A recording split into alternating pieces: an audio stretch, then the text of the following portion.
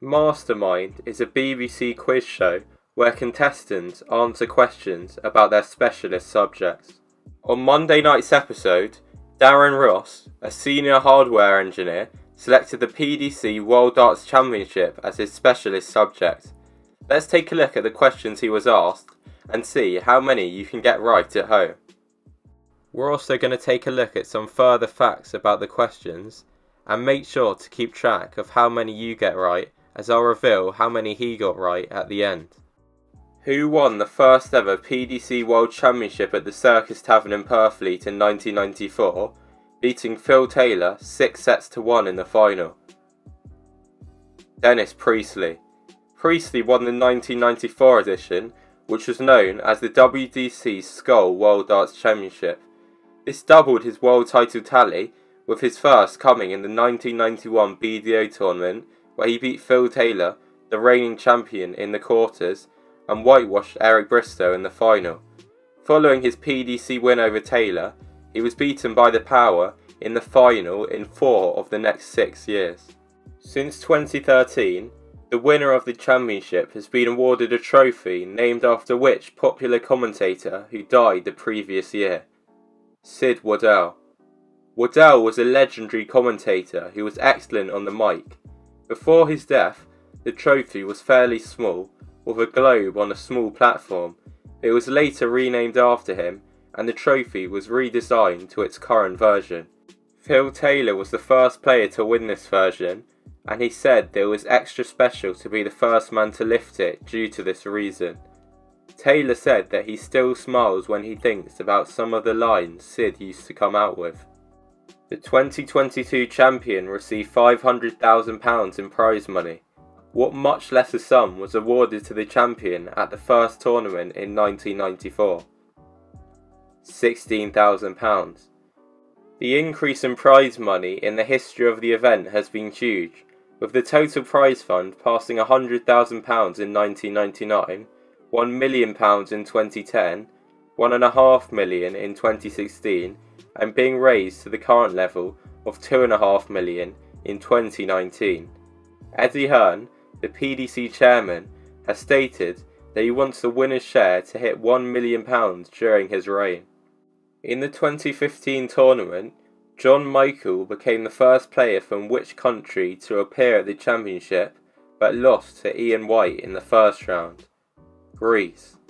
Players from over 40 different countries have played at the PDC World Championship. At the last edition of the tournament, Vladislav Omachenko became the first Ukrainian to feature in the event. John Michael has now appeared at Ali Pali four times, but is yet to make it past the first round. English players have been the most successful at the World Championship, followed by those from the Netherlands and Scotland. John Part is still the only non-European winner, and he was the first non-UK winner of both the BDO and PDC world titles. In 2018, in the last match of his professional career, Phil Taylor became the oldest finalist in the championship's history at what age? 57. Taylor holds this record, as well as the record for being the oldest world champion, which he achieved in 2013 at age 52. In the year after that win, Van Gerwen became the PDC's youngest world champion at 24. Who became the first player to achieve two 9 dart finishes at the championship when he recorded his second in a last 32 match against Brendan Dolan at the 2010 event? Raymond van Barneveld. Barney hit the first nine in both the Premier League and World Championship. Following this achievement, he hit another 9 darter in both of these events as well as one at the World Match Play. He earned £50,000 just from hitting 9 darters during his career.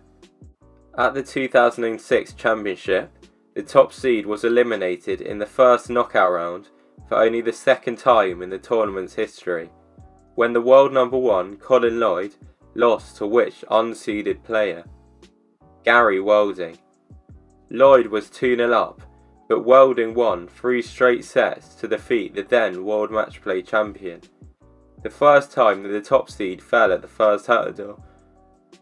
The first time that the top seed fell at the first knockout hurdle was in 2001 when Peter Manley lost to Jamie Harvey, also by a scoreline of 3 2.